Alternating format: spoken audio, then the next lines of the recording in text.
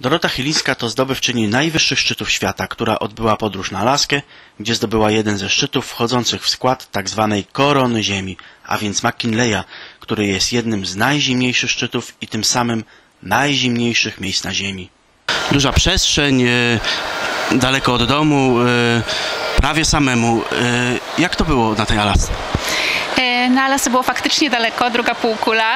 E, Faktycznie była duża przestrzeń, ale nie byłam tam sama. Pojechałam tam w dziewięcioosobowej grupie w celu zdobycia najwyższej góry Ameryki Północnej, e, McKinley. 6000, prawie 200 metrów wysokości. Szczyt zdobywali Państwo w grupach, prawda?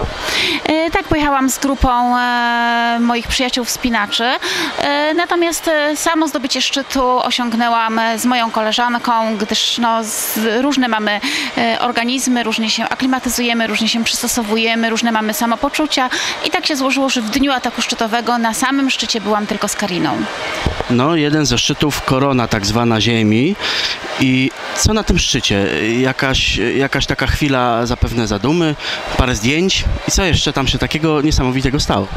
E, Faktycznie szczyt należy do korony Ziemi, jest jednym z najzimniejszych szczytów świata. E, i pod względem trudności już tylko ustępuje Everestowi. E, Na szczycie, na szczycie bardzo zimno, temperatura odczuwalna minus 45 stopni w momencie, w którym ja stanęłam na tym szczycie, więc czasu nie, nie, nie mieliśmy dużo, nie, nie było to przyjemne, żeby tam być, ale na kilka zdjęć bateria aparatu jeszcze wystarczyła. No i oczywiście jak zawsze wnoszę na takie szczyty flagę Grudziądza, flagę Polski, więc te zdjęcia e, z flagą muszą być zrobione. Tak się słyszy, że trzeba szybko zejść, ale co ciekawe, tam wcale nie goniła was noc. E, Tak, e, na Alasce, Alaska e, przechodzi przez koło podbiegunowe i McKinley jest położona około 200 km od koła podbiegunowego, czyli mamy zjawisko dnia i nocy polarnej.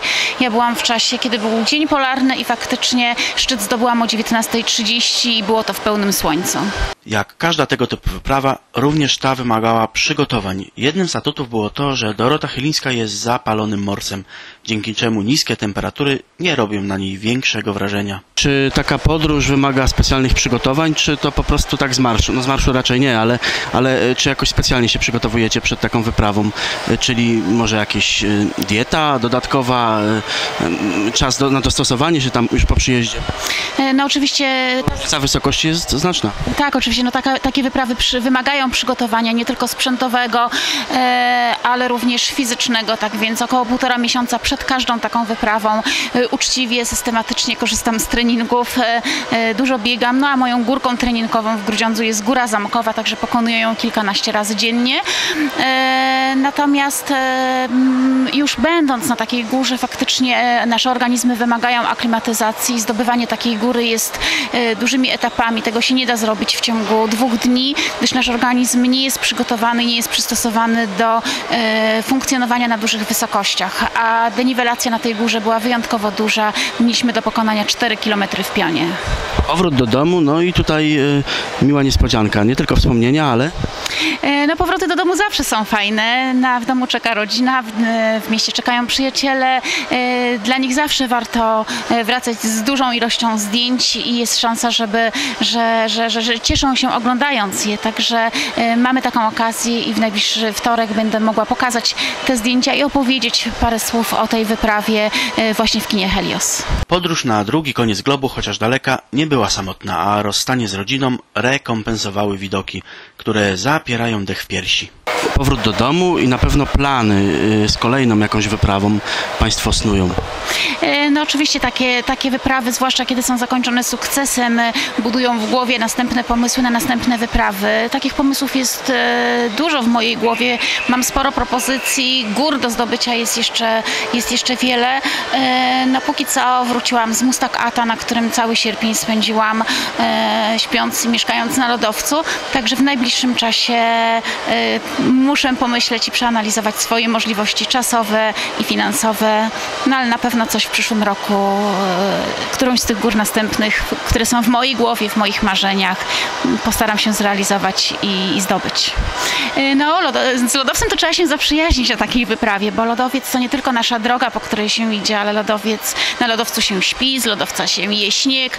E, No i na lodowcu niestety jest często niebezpiecznie, bo on skrywa pod sobą szczeliny, które często, gęsto są niewidoczne dla, dla oka ludzkiego, przysypane są śniegiem. Także obcowanie z lodowcem wymaga skupienia, wymaga uwagi, e, no ale jest to taka najprostsza droga, e, która prowadzi nas do celu. Już niedługo, bo 29 października będziemy mogli posłuchać opowieści z wyprawy i obejrzeć zdjęcia w ramach spotkania z podróżniczką, które związane będzie z premierą filmu Mój biegun. O tych wszystkich swoich przygodach, y, o tej podróży będzie mogła Pani opowiedzieć niedługo przy okazji filmu, który będzie w kinie Helios. E, Tak, tak się składa, że już jutro wchodzi na ekrany kin e, filmy o Jasiu Meli, Mój biegun. E, Jest to film o młodym człowieku, który jako, jako najmło, jest najmłodszym zdobywcą obydwu biegunów i jedynym niepełnosprawnym, który doszedł do tak nieprzyjaznych miejsc na ziemi. Ja chciałabym opowiedzieć o swoim biegunie zimna, czyli o, o, o Alasce, gdzie, gdzie jest porównywalnie zimno. A tę okazję chcemy połączyć wspólnie razem z promocją filmu, tak więc te zdjęcia i moja opowieść będzie we wtorek o 17.30 w kinie Helios 29 października. Zapraszam serdecznie.